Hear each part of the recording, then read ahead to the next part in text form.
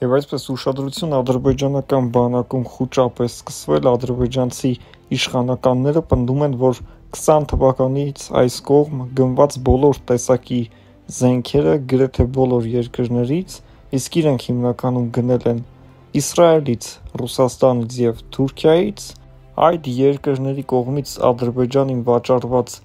զենքերը ամբողջությամբ կամ մասնակի եղել են խափանված ոչ աշխատանքային վիճակում եւ կարծես թե դա արվել է միտումնավոր, որպեսզի Լեռնային Ղարաբաղում, եթե հանկարծ 20 թվականից այս կողմ լիներ նոր պատերազմ, Ադրբեջանը այդ պատերազմում հերթական հաջողությունը չգրանցեր եւ արհեստական կերպով ինչ որ մի պետություն կամ պետություններ ստեղծել են Ադրբեջանի պարտությունը։ Եթե Ադրբեջանը համարցակվեր հարձակվել, ապա ինքը այդ իր ունեցած զենքերով երկար չէր ձգելու։ Ադրբեջանցիները մեղադրում են Միացյալ Նահանգներին, ասելով, որ Միացյալ Նահանգներն է այս ամեն ինչը կազմակերպել եւ իր հովանու տակ գտնվող երկրներին ստիպել է, որ Ադրբեջանին վաճառեն խափանված կամ ոչ լիարժեք զենքեր ու զինտեխնիկաներ, որpիսի հայերին օգուտ տա, քանի որ Միացյալ Նահանգներում ապրում է մեծ քանակությամբ հայություն, նրանք կարողացել են ազդել Միացյալ Նահանգների իշխանությունների վրա։ Ադրբեջանական իշխանությունները տարբեր այլ երկրներին Հայաստանին աջակցելու համար բազմիցս մեղադրել են Ֆրանսիային, Միացյալ Նահանգներին, եվրոպական մի շարք երկրների, բացի Ռուսաստանից, որին պետք է ամենաշատը մեղադրեին, որովհետև Ռուսաստանի հետ ունենք ռազմավարական դաշնակցի, նաև պայմանագիր, բարեկամության պայմանագիր, բայց արի ուտես, որ Ռուսաստանին չեն մեղադրում, մեղադրում են մի շարք երկրների, որոնց կապը Հայաստանի հետ այդքան էլ ամուր չեն։ Ադրբեջանը ըստ էության սադրում է եւ փորձում է ցեղ շպրտել Միացյալ Նահանգների վրա։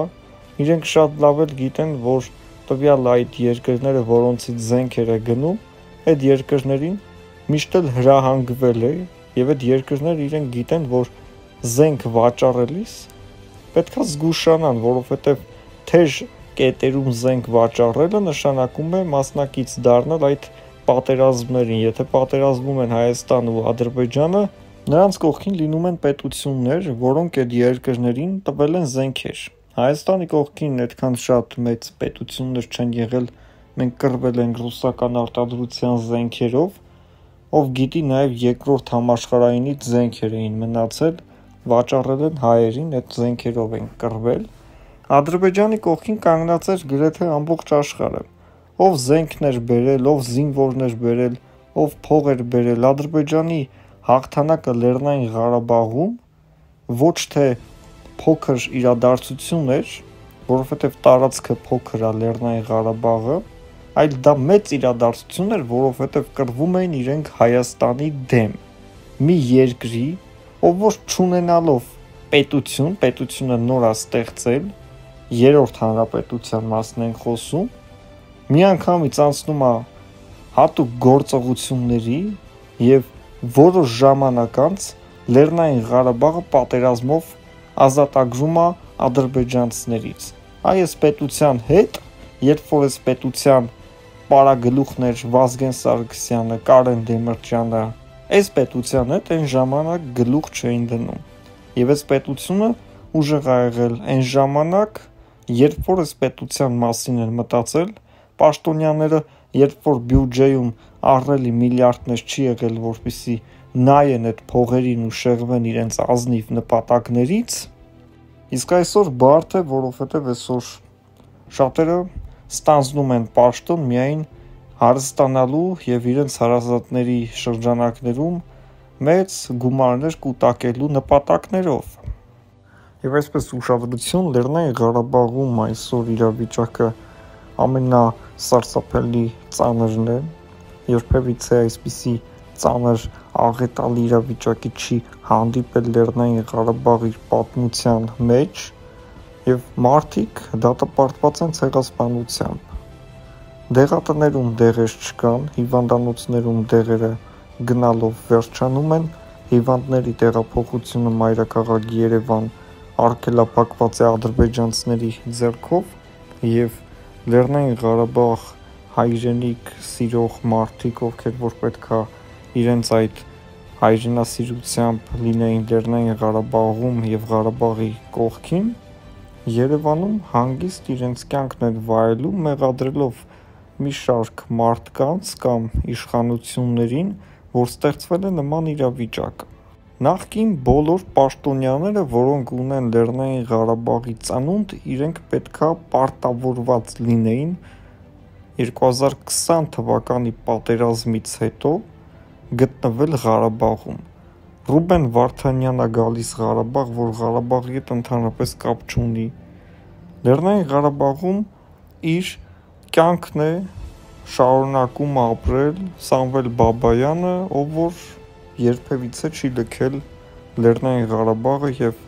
Սամվել Բաբայանին էլ հանում էին հայրենիքի դավաճաններ, նույն Սերժ Սարգսյանը Այսինքն այս մարդիկ, որ Ղարաբաղում պետք է ապրեին միջև հիմա, ովքեր որ Ղարաբաղը համարում են իրենց հայրենիքը, ապրում են Երևանում եւ թողնում են, որ Ղարաբաղը մնա այդպես շրջափակման մեջ։ Մենք չենք տեսել ընդդիմության ներկայացուցիչներից որևէ մեկը, չկա այդպեսի մեկը, ով որ կանգնի ու քննադատի Ադրբեջանի նախագահին եւ մեկնաբանի Ալիևի սպառնալիքները, մի բան էլ ինքը սպառնա Ալիևին, այսինքն դուրս գա թշնամու դեմ։ Իրենց համար հեշտ է, որ իրենք ազգային ժողովում մեկը մյուսին դավաճան համարի, դավաճան գոռա մեկը մյուսի հասցեին եւ վերջ գնան իրենց տաներով համարեն, որ իրենք այդ օրը գնացել են աշխատանքի եւ պետությունից այս մարդիկ ստանում են տարեկան միլիոնավոր դրամներ, աշխատավարձներ ու պարգևավճարներ, որպիսի գնան ազգային ժողով իրար դավաճան վանկարկեն եւ գնան երեկոյան տուն համարեն, որ աշխատանքից վերադարձել են ու խոսեն նաեւ Ղարաբաղի մասին, որ իրենք շատ մտահոգված են Լեռնային Ղարաբաղով, նույն ինքը Սերժ Սարգսյանը ու իր թիմակիցները, մեկ անգամ Ալիևին չեն քննադատել, Լեռնային Ղարաբաղի հետ այսպես վարվելու համար եւ ոչ էլ պատրաստվում են, որովհետեւ իրենք իրենց նպատակներում չունեն Լեռնային Ղարաբաղը իրենց նպատակը գան նստեն իշխանության հիմա չենք խոսում Սերժ Սարգսյանի մասին կոնկրետ խոսում ենք բոլորի մասին ովքեր որ զբաղվում են քաղաքականությամբ իրենց նպատակը գան նստեն այդ աթորին ու հարստանան դրանից բացի այս պայդրությամբ մենք չենք տեսնում այլ նպատակներ, մարդիկ հետապնդում են իշխանություն, մարդիկ հետապնդում են փող արագ հարստացում, իրենց համար պետությունը ուղակի արքու վաճառքի միջոց է, հարստանալու միջոց է, եւ իրենք այսպես էլ Լեռնային Ղարաբաղը հանձնել են ադրբեջանցիներին դեռևս 30 տարի առաջվանից, ուղղակի 20 թվականին Ադրբեջանը պատերազմով այսպես ասած վավերականացրեց այդ հանձման փաստաթուղթը